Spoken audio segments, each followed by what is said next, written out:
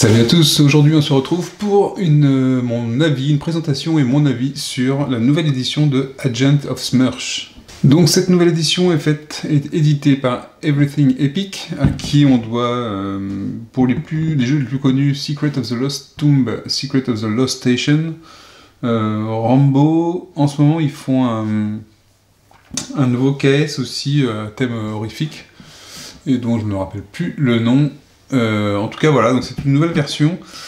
Agent of Smerch, c'est un de mes premiers KS, enfin l'extension était un de mes premiers KS, j'avais trouvé le jeu en boutique. Et euh, c'était un jeu qui a, une place particulière pour moi, parce que euh, je, redécouvrais un style de jeu de plateau que je ne connaissais pas du tout, qui était super intéressant en solo et en coop. Et, euh, et donc quand il y a eu la nouvelle édition, j'ai fait, j'ai eu l'idée de vendre mon ancienne édition, en me disant bah voilà, je vais avoir une nouvelle édition, toute belle, toute propre ça va être cool. Et donc je vais vous faire une présentation du jeu. Donc pour ceux qui ne connaissent pas le jeu, vous allez voir que c'est assez, euh, assez, tranquille, c'est très très simple. On est sur, euh, sur un système un peu à la Tales of Arabian Nights, euh, mais vraiment. Et euh, pour ceux qui connaissent le jeu, vous allez voir, bah, vous allez voir l'évolution en fait de, de, de ce jeu, et je reviendrai justement dessus juste après la présentation. Premier bon point euh, pour le jeu, donc on voit que les illustrations par rapport à la version originale n'ont rien à voir. On était avant sur du l'espionnage old school avec des petits calepins, avec des feuilles de classeur, des choses comme ça. Moi j'aimais beaucoup, avec des dossiers un peu tachés, je crois. Euh, j'aimais beaucoup le style. Là on est sur un truc beaucoup plus moderne, qui fait beaucoup plus wargames, euh, qui fait beaucoup plus, euh, voilà, très très très électronique. Même si finalement derrière le jeu n'a pas beaucoup changé, ou presque. Euh, le setup, vous allez voir, est plutôt rapide. Pour le setup, vous avez votre plateau. Ici, on a une pile de cartes mission. Ici, nous avons des cartes de statuts qu'on va pouvoir euh, glaner pendant le jeu, donc ça va être des statuts positifs ou négatifs. Et ici, vous avez des pions pour les transports des Nations Unies qui nous permettent, du... qui nous permettent de voyager plus rapidement. Ici, ce sont des tokens de succès quand on va confronter aux hommes de main ou au boss, ou au docteur Lobo. Ici, ce sont des, euh, des, compétences avancées pour, évidemment j'ai que du verso, donc des compétences euh, avancées pour les personnages, donc on peut en avoir que une de chaque maximum, donc j'en ai mis une de celles qui existait ici. On a les dés pour jouer, donc un dé euh, classique, un dé 6, et les dés d'action. Ensuite, il faut ici répartir les cartes par continent plus l'océan, donc l'Australie, l'Asie, l'Afrique, l'Europe. Donc ça veut dire qu'en fait, chacune de nos rencontres, quand on aura des rencontres sur un continent en particulier, on prendra une carte du tas qui correspond au continent sur lequel on se trouve. Euh, une fois qu'on a fait ça, on a la réserve de pions euh, de renseignement aussi, des pions Intel. Et ici, on a ici les pions des cartes gadgets. Donc on fait un deck de gadgets aussi. Ici, il nous reste deux marqueurs à mettre. Le marqueur de contour, donc il va se mettre sur le premier. Et ici, le marqueur du docteur Lobo. Donc lui, il se met entre 10 et 11, quel que soit le nombre de joueurs. Donc ça, c'est un truc un peu particulier. Quel que soit le nombre de joueurs, le marqueur du docteur Lobo est toujours là. Alors à quoi il va servir ce marqueur? Je vais vous le dire tout de suite. C'est que que le jeu va consister à éradiquer la menace du docteur Lobo donc euh, l'arrêter en fait, ou le tuer, ou peu importe. Une fois que mon marqueur de contour aura passé le marqueur du Docteur Lobo, je serai obligé de me confronter au Docteur Lobo. Par contre, si j'ai envie avant, et que je sais où se trouve le Docteur Lobo, je peux aller le confronter immédiatement. D'accord? On peut avoir un bonus à le confronter avant de passer. Euh, ensuite, il nous reste à choisir quoi? Un homme de main pour le Docteur Lobo. Donc vous avez quatre hommes de main différents qui sont les mêmes que dans le jeu de base, il me semble. Et je crois qu'il y en avait un cinquième dans les bonus Kickstarter. Euh, donc vous avez Fedor Maximov qui est le niveau difficile, le niveau épique qui est Mr. Big, euh, le niveau moyen qui est Pierre et le niveau facile qui est Darling. Donc on va prendre le niveau facile pour la... ça évite de spoiler des choses ou de. Puis bon, c'est pas, très grave. Euh, donc ici on le met. La, importante, vous avez du background sur Darling. Ici, vous avez le côté quand on l'a combattu et qu'on l'a battu. Et vous avez la formation importante qui est ici, déjà qui est différente du jeu de base. la première version. En fonction du nombre de joueurs, vous avez un certain nombre de pions renseignements à récupérer, donc de pions Intel, Intel à récupérer. Donc par exemple, à un joueur, il faut en récupérer 4. Quand vous en avez 4, vous pouvez les dépenser pour aller vous confronter à Darling, d'accord, à l'homme de main. Donc ça augmente en fonction du nombre de joueurs. Et la différence n'est pas importante entre 1 et 2 joueurs, et on, y reviendra, c'est plutôt important. Le jeu n'est pas particulièrement difficile pour un jeu coop solo. C'est pas son objectif. Et là déjà on a une différence avec le jeu de, la première version. Donc je la mets de côté, on n'a pas forcément besoin de suite, il y a un background ici, on retrouvera un background dans un, dans un livre aussi. Euh, une fois qu'on a fait ça, on choisit notre agent. Donc chaque joueur va choisir un agent. Donc si je joue en, solo, je vais en choisir un. Ici, j'ai pris Nikita Romanova, codename Mantis. Donc comment est-ce qu'on fait? Ben, On place la fiche dans le plateau ici.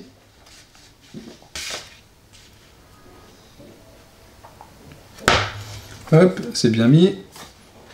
Donc on voit toutes les valeurs. Ici, sur les, carrés qui sont en clair, on va placer les cubes transparents ça va indiquer la valeur de départ de mes caractéristiques. Donc on a Spycraft, Persuasion, Deception, Athletics et End-to-End. Et enfin le cube bleu sur la, partie Resolve, ça ça existait déjà avant. Euh, c'est ce qui nous permet d'améliorer nos, lancers pour les, euh, pour les compétences. Et enfin notre marqueur de point de vie, ici. Au-dessus, on a la valeur de repos quand on se repose, c'est-à-dire quand on est en jeu vous allez voir dans le tour de jeu, on a le choix entre agir ou se reposer. Quand on se repose, on regagne 2 points de vie et 2 points de resolve, parce qu'il y a marqué 2 ici. Si jamais je me repose dans un, euh, dans un quartier général, je pourrai récupérer tous mes points de vie et tous mes resolves. Sur chaque personnage, vous avez sa fiche d'identité, vous avez un standees comme ça, et on va euh, avoir une, euh, une, compétence avancée et des, choses qu'on a au départ. Donc par exemple ici, comme compétence de départ, elle a discrétion ou infiltration, stealth. Et donc on va aller récupérer le stealth dans les, dans les compétences avancées. Hop, et on va le mettre en dessous du plateau pour dire voilà, a cette compétence avancée. les compétences avancées, à quoi vont nous servir lors de tests de compétences, ça nous donnera soit des bonus, soit ça nous permettra carrément de passer le test, d'accord, en fonction de l'action euh, qu'on est en train de faire. Donc on commence avec ça, et en plus sa compétence à elle, c'est euh, à chaque fois qu'elle pioche une carte gadget, elle en pioche une en plus et elle en défausse une. D'accord? En plus de ça, au début de son tour, elle peut dépenser un resolve, donc c'est ça le resolve, pour piocher une carte gadget. D'accord? Donc ça veut dire que potentiellement on peut en piocher deux, ou quand dans le jeu on lui demande d'en piocher une, elle peut en piocher deux et en défausser une. Donc je mets le plateau euh, en dessous aussi, c'est pas très grave, je vais repousser ça peut-être. En fait, ce qu'il y a, c'est que le plateau devrait venir ici, mais vous auriez du mal à voir la carte. Donc vous voyez, je peux le faire quand même, c'est pas très grave. Comme ça, on la verra un petit peu. Euh, et donc, ici, qu'est-ce qu'on reçoit En début de, jeu, on va recevoir deux cartes mission. Deux cartes mission qui vont vous indiquer, donc qui sont des informations visibles hein, quand on joue à plusieurs, une destination, un nom de mission, qui est vraiment là pour dire qu'il y a un nom de mission, et ce que je vais pouvoir y gagner. D'accord? Donc ici, par exemple, je peux gagner soit deux intelligences, soit placer trois euh, deux, deux intels, deux renseignements, ou trois euh, que je peux gagner, ou alors je peux placer trois renseignements sur n'importe quel aéroport. Ici, je peux gagner deux renseignements ou placer trois renseignements sur n'importe quel HQ, euh, enfin QG. Donc ça, c'est mes deux missions. Vous allez voir comment on, effectue ces missions après, et c'est pas compliqué. Euh, et une fois que c'est fait, on place notre, euh, bonhomme. on peut le placer avant les missions, comme ça, ça donne un petit peu plus de, de difficulté, mais sinon, de toute façon, on place notre personnage sur un, euh, QG. Alors, sur le plateau, je vais vous faire voir les différents points. Ici, les QG, sont représentés par ces bâtiments ici. D'accord Ici, quand il y a un avion, c'est un aéroport, donc là, c'est EQG et aéroport. Ici, ce sont les, le repère du docteur Lobo, d'accord Ou les repères du méchant. Et après, vous avez différents lieux qui n'ont pas d'autres capacités autres que d'avoir des missions ou des, bonus.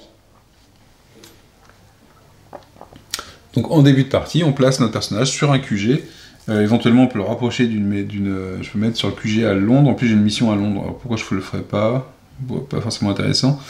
On va, tiens, on va partir d'Australie. On va dire que c'est plus marrant. Euh, ah mais j'ai pas de QG en Australie. Euh, et eh bien tant pis, je vais le mettre ici, alors c'est pas grave. Comme ça, on fera un bon exemple. Donc ici j'ai mis mon marqueur, j'espère qu'on le verra. J'ai mis Nikita à Rio de Janeiro. Ensuite, euh, comment ça va se dérouler? Bah, C'est très simple. À votre tour, le tour de jeu est hyper simple, d'accord? Donc on joue déjà dans n'importe quel ordre. Donc on peut passer d'un espion à l'autre. Donc là je suis en solo, donc il n'y a que moi. Mais le, jeu va être très simple. Le but du jeu, donc comme j'ai dit, ça va être, mais c'est optionnel par contre, d'éliminer l'homme de main que vous, avez, sélectionné. Alors éventuellement, il y a des variantes pour en sélectionner plusieurs, mais en sélectionner un principal pour augmenter la difficulté euh, ou la longueur du jeu, d'ailleurs, je dirais.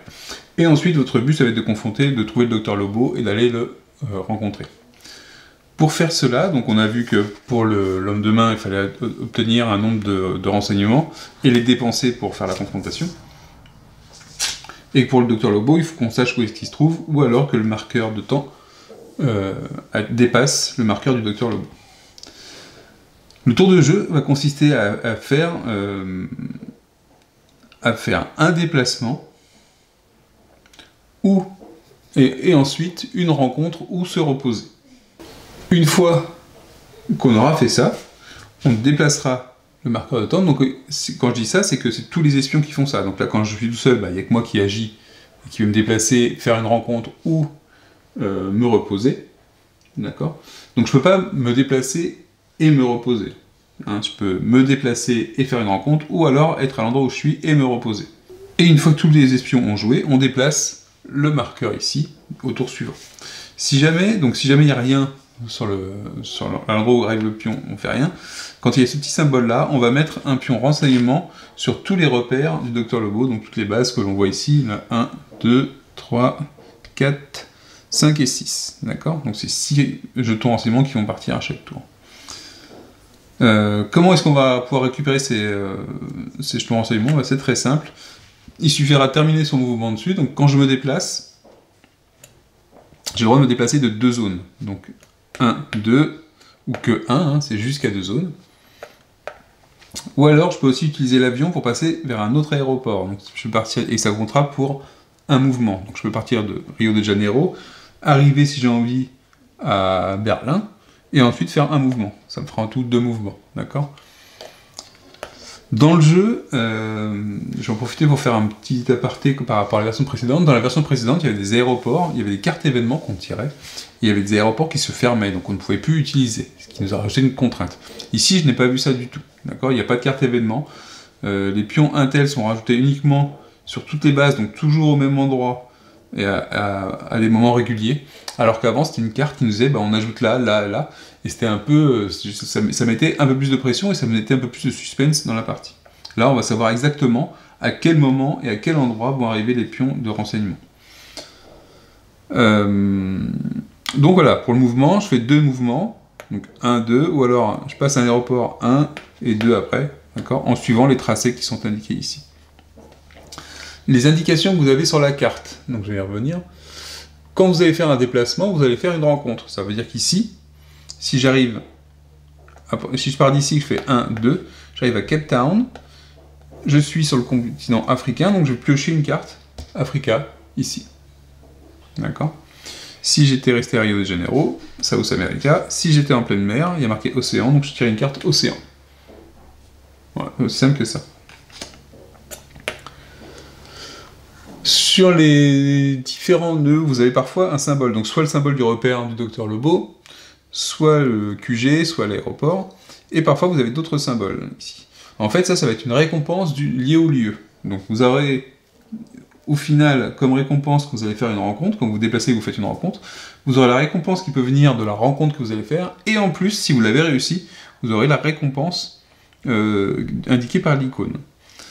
Et en plus de ça, si vous avez fait une si vous avez des missions à l'endroit où vous avez fait votre rencontre et que vous avez réussi votre rencontre, vous réussissez votre mission. Ça veut dire que quand vous allez réussir une rencontre, potentiellement vous avez trois récompenses. Celle de la rencontre, celle du lieu où vous vous trouvez et celle de la mission que vous aviez en cours, qui se trouve sur le lieu où vous vous trouvez. Comment ça va se dérouler dans la rencontre? Alors à quoi, à quoi correspondent les icônes? D'abord bah, Vous allez retrouver les icônes ici, au dos du livret.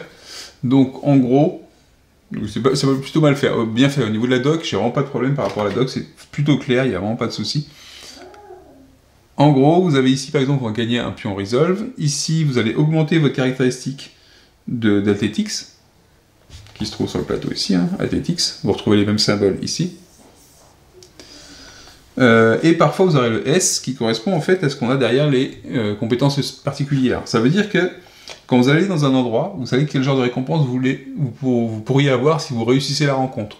Ça veut dire que vous pouvez vraiment builder votre personnage, le construire et le faire évoluer un peu comme vous avez envie. Vous savez très bien ce que vous allez pouvoir récupérer. La seule partie qui sera un peu cachée, c'est la partie rencontre. Donc non seulement pour réussir la mission et récupérer la récompense, il faudra réussir la, rencontre. Et si vous ratez, bah, finalement, vous n'aurez pas de récompense ni dans la rencontre, ni par la mission, ni par le, par le plateau. Donc c'est vraiment du soit je gagne beaucoup de choses, soit je gagne rien, pas grand chose. En plus de ça, quand on va rater une rencontre, euh, je vais revenir sur la rencontre, comment ça roule la rencontre après, le docteur Lobo va se déplacer d'un cran vers la gauche. D'accord? Donc on avoir moins de temps euh, pour faire notre, notre, truc. Pour ceux, une note pour ceux qui ont déjà vu euh, qui ont déjà joué la première version, je pense que déjà ils se rendent compte qu'elle est beaucoup plus légère, beaucoup plus simplifiée et beaucoup plus rapide que la première version. Alors, je dis pas forcément que c'est une qualité. Pour ceux qui aiment le jeu, qui aiment la première version, je suis pas sûr que ce soit une qualité. Parce qu'on se retrouve avec un jeu qui est quand même très très épuré par rapport à ce qu'on connaissait, et quelque part un tout petit peu moins intéressant. Alors, je m'avance un peu sur mon avis plus tard, mais je trouve qu'il est un tout petit peu moins intéressant en termes de jeu sur le plateau. Vous allez aussi avoir par continent, parce que c'était sûrement pas assez d'avoir des récompenses, par continent, vous avez la possibilité de dépenser donc avant ou après votre mouvement, ça veut dire potentiellement vous pouvez en profiter de deux fois. Euh, de dépenser ici, on peut dépenser un renseignement pour piocher une carte gadget. Donc oui, on a aussi le symbole de la carte gadget, si on veut piocher la carte gadget. Ici, vous pouvez dépenser deux renseignements pour gagner une capacité spéciale. Donc rien qu'en étant en Asie avant votre déplacement, d'accord? Et potentiellement, ce que je peux faire, vu que c'est qu'une seule fois par tour pour chaque continent, euh, je pourrais très bien faire dépenser un renseignement ici pour piocher un gadget, me déplacer là-bas et dépenser deux renseignements pour gagner une capacité spéciale. Alors évidemment, les renseignements ont quand même, une importance, moindre que dans le jeu de la première version, mais ils ont une importance. Bah déjà parce que ça nous sert à rencontrer euh, l'homme de main qu'on doit confronter, donc il faut pouvoir les dépenser. Et en plus de ça, quand on va faire les rencontres contre euh, l'homme de main et contre le docteur Lobo, les pions euh, renseignements vont nous servir comme les pions resolve. Donc ça veut dire qu'ils vont nous servir pour les, euh, résolutions de compétences. Hein, de la même manière que ce pion-là. On pourra utiliser du resolve ou des pions intelligence dans les rencontres contre les hommes de main ou le docteur Lobo. Ce qui n'est pas le cas quand on fait des rencontres classiques. On ne peut utiliser que des resolve. Euh, ensuite, comment ça va se passer pour les tests Je vais vous le dire, vous faire voir un exemple dans, les livrets de rencontres. quand on va faire une rencontre, on aura on va en fait, la manière de Tales of Arabian Nights, pour ceux qui connaissent, c'est qu'en fait, on va, dans la carte sur les cartes mission, moi je vais en prendre une en exemple, on va vous dire, bah voilà, vous avez une sorte de communication avec euh, le directeur, ou avec l'agence, et puis qui vous dit, bah voilà, vous, êtes dans la mission euh, Breakout, et choisissez votre manière de faire. Donc en fait, on va avoir un numéro ici qui va correspondre à la mission, Ici, notre façon de, résoudre, donc c'est un mot-clé en fait, hein, c'est escape, confront, be reckless, wait, challenge, be careful, be spontaneous. D'accord? Et donc, nous, on va essayer d'imaginer que le breakout, ce que ça peut être, notre façon de réagir, parce que ça va induire potentiellement le type de test qu'on va vouloir faire. Et ensuite, vous avez euh, Rolling My Dice, qui est une partie aléatoire. Ça veut dire qu'ici, on va avoir le 11, on va avoir notre choix, et une partie aléatoire, donc avec le dé euh, doré, qui va de 1 à 5 et pas à 6, parce que le 6, en fait, c'est on gagne un resolve et on relance le dé. Donc c'est une, une, manière de gagner du resolve supplémentaire quand on lance le 6 sur ce dé-là. Euh, et donc ça nous donne 3 chiffres. Et avec ces 3 chiffres, qu'est-ce qu'on va faire? Donc par exemple, sur cette mission-là, euh, c'était en Asie, alors comment est-ce que j'aurais pu aller en Asie? Bah, Par exemple, si j'avais été à Tokyo, et ensuite à Macao, pour aucune raison valable, mais si j'étais à Macao, je tire une carte Asie, Ici, je dis que pour Breakout, euh, je suis, euh, je fais un Escape, par exemple, le 1. Donc, c'est que j'ai 11, 1, et ici, je lance le dé, 2. Donc, 11, 1, 2. Je prends le livre de rencontre, je vais le feuilleter pour aller voir le 11.1.2. D'accord? Donc ça, on est sur la même méthode que la première version. Au niveau du livre, il est très bien agencé, il est très clair, il est très lisible. Vous avez des petits symboles qui sont plutôt clairs. Quand vous avez des choix, vous avez un point d'interrogation. Sinon, vous avez rapidement qui y a comme test à faire. Vous avez une petite mission. Donc le 11.1.2 par exemple.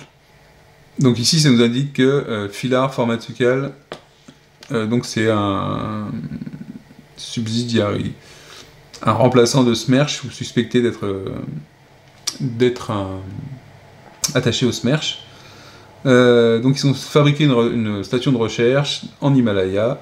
Et donc euh, vous venez en prétendant que vous êtes un architecte euh, loué, enfin payé par Filar pour les assister, pour agrandir l'usine. Et donc vous envoyez un message, donc voilà, ça vous raconte la mission, vous envoyez un message à l'agence pour les prévenir qu'il y a une nouvelle drogue de l'amour, et voilà que c'est fait par le docteur Lobo, Malheureusement, le docteur Filard a découvert que vous étiez un espion et vous a enfermé. L'agence a euh, prévu une, attaque, un bombardement, et vous avez besoin de, vous enfuir de votre cellule. D'accord? Donc à chaque fois, vous aurez, avec votre choix, avec la mission, vous aurez un petit texte comme ça, et c'est plutôt sympa, hein, c'est pas trop long, c'est assez court, ça vous met dans l'ambiance, et derrière, ça, ça, vous indique le test que vous allez faire, qui est plutôt toujours en rapport avec ce qui vous arrive comme histoire. Autant le choix que vous avez, qui est plutôt générique, en disant breakout, bon là pour tout j'ai fait escape, donc c'est pas complètement faux. Le seul truc c'est que il faut pas voir ça comme étant, bah, vous avez une mission, comment vous en sortez? C'est plutôt quel style d'aventure il va vous arriver? Breakout, escape, ça correspond bien à ce qui nous arrive ici, d'accord? C'est pas comme si on était déjà dans la cellule qu'on on indique la façon dont on va sortir. C'est que c'est vraiment le style d'histoire qui va vous arriver. D'accord? Donc 11, 1, 2. Donc là, il faut tester Spycraft moins 1 ou Athletics plus 1. Alors, vu comment c'est marqué, vous voyez qu'ici, il est marqué Spycraft moins 1, donc il n'y a pas de nombre de succès, donc ça veut dire qu'il faut, il faut au moins un succès. Ou alors Athletics plus 1, donc j'aurai plus 1 à ma compétence Athletics. Par contre, il y a entre crochets 2, ça veut dire qu'il faut que j'ai deux succès. Donc c'est un choix à faire. En fonction de vos valeurs, vous allez choisir l'une ou l'autre des choses. Et en plus, bah, on a un bon exemple, c'est Pass with Electronics or Vehicle Use, qui sont deux compétences avancées. Si j'avais une des deux compétences, je passerais le test directement sans lancer les dés. Là, ce n'est pas le cas, il faut que je fasse un test. Donc Spycraft moins 1 ou Athletics plus 1. Ici, sur mon plateau, vous voyez que j'ai Spycraft qui est en valeur 1 et Athletics en valeur 2. Donc, ce serait peut-être à privilégier. Alors, qu'est-ce que ça veut dire quand on vous avez Spycraft moins 1, Athletics, et ainsi de suite, ou quand on vous donne seulement le nom de la caractéristique Ça va correspondre au nombre de dés que vous avez pour tenter de résoudre l'épreuve, pour avoir des succès. Sur les dés, vous avez euh, trois valeurs. Le succès qui est la forme du pistolet, le resolve et l'échec qui est comme ça. D'accord? Quand vous tombez sur un, quand vous avez un résultat resolve, vous pouvez transformer en succès en dépensant un resolve. Ok? Si jamais j'étais dans une rencontre avec le docteur Lobo ou avec l'homme de main, je pourrais dépenser un pion renseignement à la place parce qu'il fonctionnerait comme le resolve. Mais là, ici, ce serait pas le cas, il faudrait que je dépense un resolve. Donc c'est le nombre de dés que vous allez avoir finalement votre caractéristique avec les modificateurs. Donc Spycraft moins 1, ça m'intéresse pas, je serai à 0, sachant qu'on peut jamais lancer 0 dés, on a toujours au moins 1 dé. Et Athletics plus 1, ça me donnerait 3 dés pour avoir par contre 2 succès. Vous voyez, il me faut un succès supplémentaire. Donc soit j'essaie de faire avec 3 dés pour avoir 2 succès, soit avec 1 dé pour un succès, on va dire que c'est moyen. Si je veux, je peux modifier le nombre de dés que je lance. Il suffit que je dépense un resolve, et à ce moment-là, j'ajoute un dé. Et je peux ajouter ça autant que je veux, tant que j'ai du resolve, je peux le faire, jusqu'à un maximum de 6 dés. Donc là, on va dire que je vais lancer 4 dés pour faire 2 succès. Ah bon, un, cas intéressant, j'ai 2 ratés. Ça, c'est 2 ratés. J'ai un succès, mais il manque un succès. D'accord? Le succès qu'il a, j'ai un resolve. Donc lui, je peux le transformer en succès. Hop en dépensant un pion resolve ici. Donc j'en ai dépensé un pour avoir un dé de plus, j'en dépense un pour utiliser pour un resolve. Et à ce moment-là, j'ai mes deux succès. Une fois que j'ai fait mon test, que tout a été fait, potentiellement vous pourriez avoir des cartes gadgets pour relancer des, cartes statues pour relancer des dés ou, agir dessus.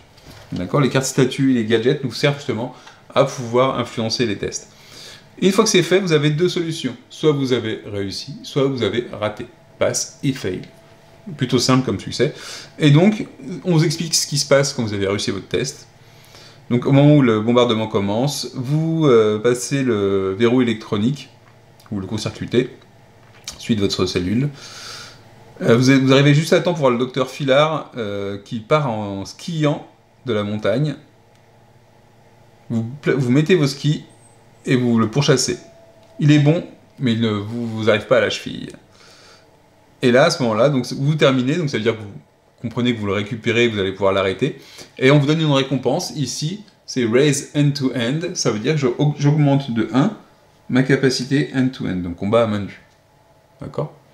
Une fois que c'est fait, donc voilà, je laisse de côté le livre d'histoire. Je vais pouvoir mettre en dessous la carte ici. Si j'avais échoué, bah, j'aurais eu une autre, un autre texte. J'aurais fait euh, avancer le docteur Lobo d'un cran vers la gauche. Et ce serait arrêté là. Ici, j'ai réussi. À Macao, donc j'ai pas de mission. Ah, ma mission, j'en ai une à Melbourne, une à Londres. Par contre, à Macao, ici, il y a le petit symbole euh, avec le point. Donc ça veut dire que j'augmente ma compétence end-to-end. Et vous voyez qu'en une seule rencontre, j'ai réussi à l'augmenter deux fois. Donc je suis déjà passé à 3 en end-to-end, donc en combat à main nue. Ce qui pourra me servir pour d'autres rencontres. Ça veut dire qu'aussi, quand on va faire des, missions ici, on le faisait déjà dans, le premier dans le premier, la première version, on essaye de deviner quel est le type d'aventure qui va correspondre le plus à nos caractéristiques. D'accord euh, Donc ça, c'est pour la rencontre. Et euh, une fois qu'on a fait ça, et eh ben normalement, je pourrais très bien, donc après mon mouvement, j'aurais pu utiliser ça. Là, je ne le fais pas. Euh, et j'aurais pu gagner des points d'enseignement, ce qui n'est pas le cas. Pour gagner des points d'enseignement, il faudrait qu'il y en ait sur le plateau. Alors, soit je, vais les avoir par les rencontres, soit il y en aurait sur le plateau dans les repères du docteur Lobo, euh, enfin du SMERSH plutôt. Et euh, en arrivant dessus, à la fin de mon mouvement, donc quand j'arrête mon mouvement, je pourrais les récupérer. D'accord? Sans, rien faire, sans faire de rencontre. Je pourrais les récupérer automatiquement. Et à ce moment-là, ils se mettent tous ici. C'est-à-dire que même quand on est à plusieurs joueurs, c'est un pool de jetons renseignements qui sont valables pour tout le monde, qui sont utilisables par tout le monde. Une fois que c'est fait, j'avance mon marqueur ici de 1. Il n'y a rien de spécial, donc hop, je fais un nouveau tour. Et ça, c'est tout. C'est le tour de jeu, c'est ça. Si j'avais dû me si je devais euh, passer mon temps à me reposer, je pourrais le faire. À ce moment-là, je gagne 2. Si je suis n'importe où sur le plateau, mais pas dans un QG, je gagne 2 points de vie, je gagne 2 points de resolve, et c'est mon action pour le tour, et c'est tout ce que je fais. Si j'étais dans un QG, je remettrais mes points de vie au maximum, et mon resolve au maximum. Et euh, c'est tout. pourquoi je vous dis que c'est tout? C'est que le jeu, c'est finalement que ça. Donc le jeu, euh, une fois qu'on va vouloir confronter le henchman, qu'est-ce qu'on va faire? Bah, La rencontre contre l'homme de main va se dérouler dans ce cahier-là vous avez en fait plusieurs pages pour euh, une série de pages pour chaque homme de main et plusieurs pages pour le docteur Lobo. En fait, ce qui se passe, c'est que vous allez pouvoir faire une rencontre contre l'homme de main et en fonction du début de la rencontre, ça va vous donner deux petits embranchements, deux ou trois embranchements. Euh, mais ça va être une suite de rencontres, exactement ce qu'on a fait sur les cartes, sauf que là vous n'avez pas de choix, vous vous enchaînez comme dans un livre dans les rencontres.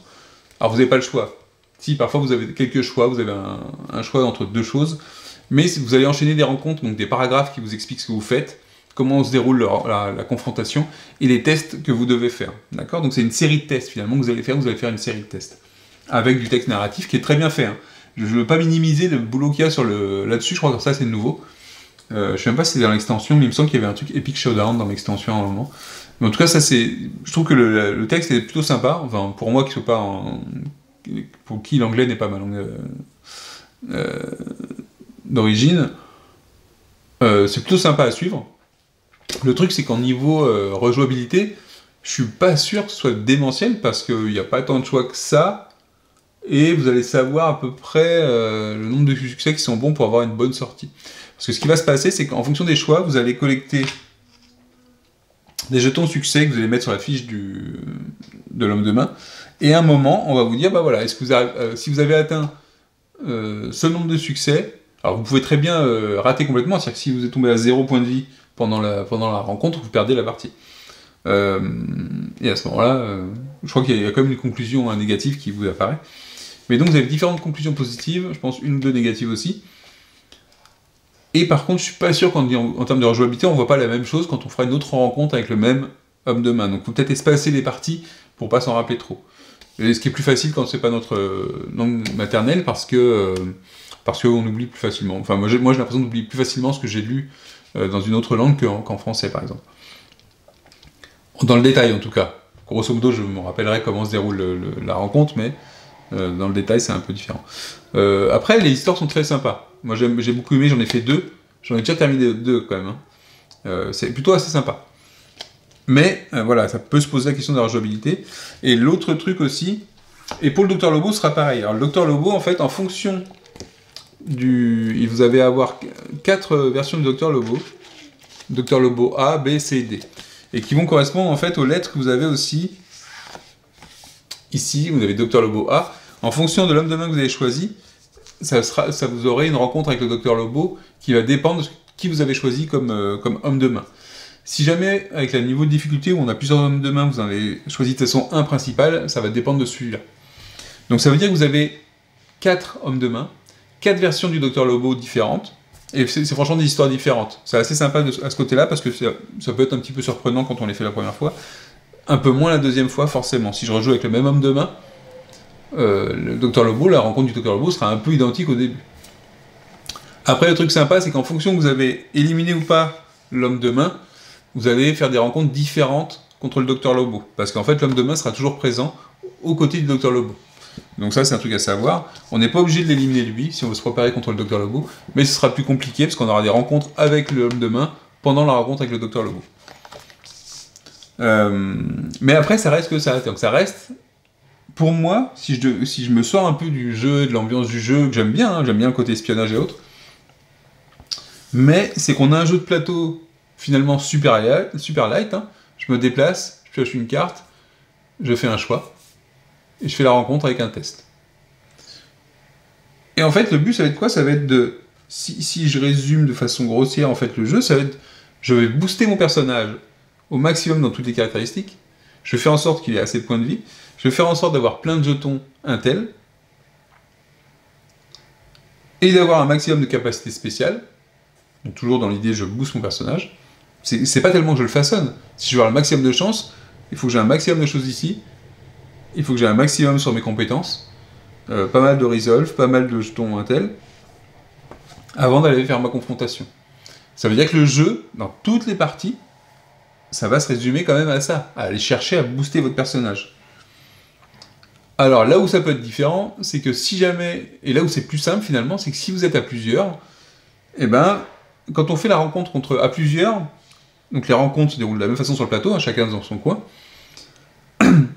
mais à plusieurs, vous pouvez, euh, quand vous faites la rencontre contre l'homme de main ou le docteur Lobo, euh, vous pouvez choisir quand vous avez lu le test, qui fait le test. Que vous êtes en équipe, et une fois que vous savez quel test vous devez faire, et ben vous décidez qui est-ce qui fait le test. Donc forcément, pendant la construction de votre personnage tout au long de la partie, vous pouvez éventuellement décider, tiens, bah, toi, spécialise-toi dans telle partie, sur deux ou trois caractéristiques si vous êtes à deux joueurs par exemple, toi sur telle autre partie, et puis essayer d'avoir les autres qui sont pas trop, pas trop hautes, mais pas trop faibles, enfin pas trop faibles, mais pas trop, euh, et un petit peu plus élevées, pour faire une, pour moins booster tout au maximum, et dire, bah voilà, on va se spécialiser, puis en fonction des cas de test, eh ben on fera, on fera ça.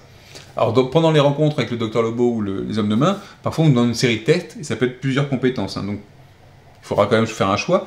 Mais je trouve que le jeu à plusieurs est simple et plus simple, plus on est, plus c'est simple. C'est- mon impression en tout cas. Parce que j'ai réussi ma deuxième partie contre euh, Pierre, donc celui qui était au niveau intermédiaire. euh, je l'ai fait tout, fait en solo avec un seul personnage et j'ai trouvé plus compliqué. Bah oui parce que on a un bon le, pool de renseignements il grossit moins parce qu'il n'y a qu'un seul personnage par tour. Alors que si vous êtes deux ou trois, vous pouvez cumuler plus de, jetons Intel. Euh, potentiellement, si vous ratez quelque chose, ça fait descendre, mais ça fait descendre de la même façon que si on était deux ou trois. Donc voilà, le niveau est un peu plus compliqué, je trouve, quand on est tout seul. Et finalement, je me dis que le jeu est super bien en solo, avec mais en vrai solo avec un seul personnage. Ah, super bien, j'exagère. Il est très bien avec un seul personnage en termes de difficulté ou d'impression de difficulté. Malgré tout, euh, parce qu'en fait, on a vraiment l'impression que, ça, ça booste, que, ça va plus vite. Et qu'on a moins de, choix et qu'on a moins de jetons Intel et ainsi de suite. Euh, Après, ma partie a quand même été différente entre ma première partie à deux joueurs avec Darling et ma, ma deuxième partie à un joueur avec Pierre. J'ai trouvé que la, sensation était différente, que ça s'est passé différemment. Mais sur le plateau, sur ce que je devais faire, sur mes objectifs, c'est un peu pareil. Parce que maintenant, en fait, alors je vais revenir sur ce qu'il y avait sur la première version. Là, en fait, vos déplacements, ils vont être dirigés par quoi? Par les pions renseignements à les collecter sur le plateau, par les euh, bonus à, les récupérer selon comment vous voulez booster votre personnage, et par les missions qui vous donnent des bonus. Avant, on avait en fait les pions Intel qu'on voit ici, ils avaient deux côtés, un pion euh, Intel comme ça, et un, type de jeton Intel. Parce qu'en fait, avant, il fallait faire des combinaisons de jetons Intel type particulier pour aller battre le Docteur Lobo ou les hommes de main. Tout en ayant quand même les rencontres et le côté narratif. Donc avant, et en plus, les pions, euh, les pions Intel disparaissaient des différents lieux au bout d'un moment. Donc on les enlevait. Et donc ça vous donnait une petite course aux pions Intel, et on allait à des endroits bien particuliers pour aller récupérer des, jetons Intel, sans forcément savoir ce qu'il y avait derrière, mais en espérant trouver un maximum de, de variété. Et en plus, il y avait des actions pour en révéler certains, et ainsi de suite.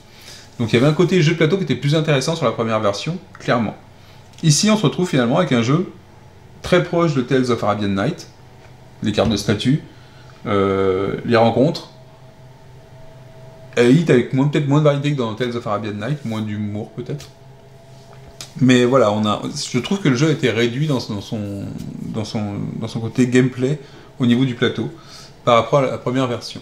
En plus de ça, le système, enfin potentiellement dans la rencontre contre l'homme de main ou contre le docteur Lobo, il va vous faire diminuer aussi euh, vos caractéristiques.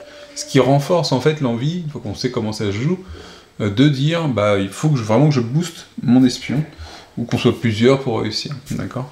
Donc voilà, donc c'est euh, pour ceux qui ne connaissent pas le jeu, c'est plutôt un jeu cool. Après, je trouve que le rapport prix-jeu pour un jeu coop, même solo, je trouve un peu cher, même si, euh, ok, je suis d'accord, Christopher Batarlis, il, nous, rappelle sans cesse combien de pages et combien ils ont dû faire. C'est surtout de la mise en page, hein. je crois que les missions sont un peu les mêmes qu'avant. Il y a beaucoup de mise en page, euh, et puis ça, je, crois qu'il est nouveau. Euh, donc effectivement, mais il y a beaucoup de jeux qui ont maintenant un gros livre avec des histoires dessus. Et pour autant, il y a beaucoup plus de cartes, plus de choses. Là, il n'y a pas grand chose, et on est quand même sur un tarif qui est assez élevé. Euh, donc voilà, le jeu est intéressant. Si vous ne connaissez pas, si vous avez envie d'un jeu qui est quand même plutôt rapide dans le déroulement, c'est-à-dire que vous allez forcément voir la fin de la partie. Vous n'avez pas laissé le jeu sur votre table pour plusieurs séances. En une séance, vous pouvez faire une partie tranquillement, aller jusqu'à la confrontation finale. Je trouve que c'est quand même dur de perdre dans le jeu. J'ai du mal à voir comment on peut perdre. Après, ce sera petit, ça peut jouer au dés. Hein. Si vous n'avez vraiment pas de chance sur les dés, bah, ça va arriver. Dans la version précédente, les dés, on avait différents types de dés. Alors par contre, pour ce coup, c'était bien d'avoir simplifié ça. On avait différents types de dés, et surtout, on pouvait prendre des blessures euh, quand on ratait, quand on faisait des tests de, compétences. On pouvait se prendre des blessures, ce qui fait que ça rendait encore les, rencontres un peu plus, euh, un peu plus euh, difficiles, et on ne savait jamais comment, dans quel état on allait s'en sortir, même si on réussissait la, rencontre. Donc, donc je pense que pour ceux qui ont déjà l'ancienne version, ça sert à rien d'avoir la nouvelle c'est vaut mieux garder l'ancienne, je, pense. Si vous avez aimé la première, je pense pas que celle-là vous, vous fasse kiffer. Ceux qui ne connaissent pas le jeu, qui ont envie d'un jeu de style espionnage, type James Bond, qui se déroule plutôt bien, si vous voulez jouer à plusieurs et que ce soit une bonne partie, une bonne soirée, un truc sympa, c'est plutôt cool si vous savez lire l'anglais évidemment, parce que c'est que en VO. Euh, voilà, on est sur un jeu qui est plutôt euh, light en termes de règles, qui est plutôt amusant en termes de rencontres mais qui va pas plus loin que ça, de booster son personnage et de faire des rencontres en lançant des dés derrière. D'accord? Donc on est sur un livre dont vous êtes le héros un peu avancé peut-être, avec un plateau, avec plus de matériel, euh, mais, mais pas beaucoup plus. Et euh, du coup, moi, ça me fait regretter le fait d'avoir vendu ma première édition, euh, parce que, parce que j'aimais bien le côté recherche des, types recherche des, des, renseignements qui étaient typés, ça faisait une sorte de puzzle à faire, et même si j'aimais bien le, côté rencontre dans le livre, c'est ce qui permettait d'avoir quelque chose de, vivant plutôt qu'avoir que du déplacement et deux lignes de texte. Mais, mais je trouve que la, partie, le, jeu en lui-même, la partie jeu réellement sur le plateau, a énormément diminué sur cette version-là. Est devenue moins intéressante. Il y a moins de, stress pour, pour compléter les missions, il y a moins d'intérêt sur le plateau.